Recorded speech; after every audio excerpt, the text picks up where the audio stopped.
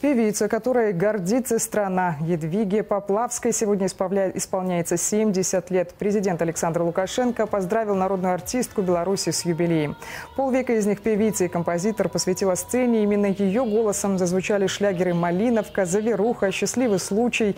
Едвига Поплавская – одна из соавторов легендарных «Веросов». Именно в ВИО познакомилась с Александром Тихановичем, вместе с которым они создали по-настоящему всенародный и семейный дуэт.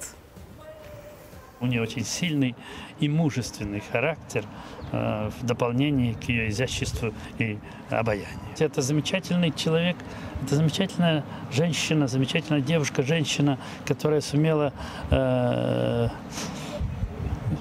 влюбить в себя замечательного парня, сделать огромный творческий э, дуэт. И я знаю, что э, она огромную работу выполняла по репертуару. Посвящение юбилею Едвиги Поплавской представит и телеканал «Беларусь-3». В вечернем эфире биографический проект «Маэстро и кумиры» с участием народной артистки, а также сольный концерт культового дуэта Поплавской и Тихановича.